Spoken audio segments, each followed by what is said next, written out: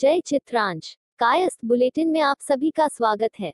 Kayastha bulletin में आज हम कायस्थ तृतीय धाम के बारे में जानते हैं जो तमिलनाडु के काचीपुरम पौराणिक काचीपुरी का भगवान श्री चित्रगुप्त स्वामी मंदिर।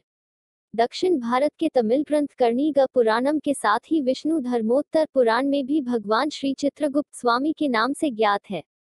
श्री चित्रगुप्त स्वामी का मंदिर। काचीपुरम नगर के मध्य में श्री रामकृष्ण आश्रम से लगभग एक फलाग की दूरी पर एक ऊँचे चबूतरे पर स्थित है। यह चबूतरा इतना ऊँचा है कि कोई भी दर्शनार्थी नीचे खड़े होकर मंदिर के गर्भगृह में स्थापित मूर्ति के दर्शन नहीं कर सकता, उसे चबूतरे पर ऊपर चढ़ने के बाद ही श्री चित्रगुप्त स्वामी के दर्शन प्राप्त हो सकते हैं। मंदिर का स्थापत्य बहुत सुंदर, भव्य और गरिमा में है। मंदिर के गर्भगृह में हाथों में कलम दबात लिए हुए भगवान चित्रगुप्त स्वामी के साथ ही देवी कार्णकी की कांस्य प्रतिमा स्थापित है। आगे चतुर्थ धाम के विवरण के साथ आपकी सेवा में पुनः हाजिर होंगे तब तक के लिए आज्ञा। धन्यवाद। जय चित्रांश।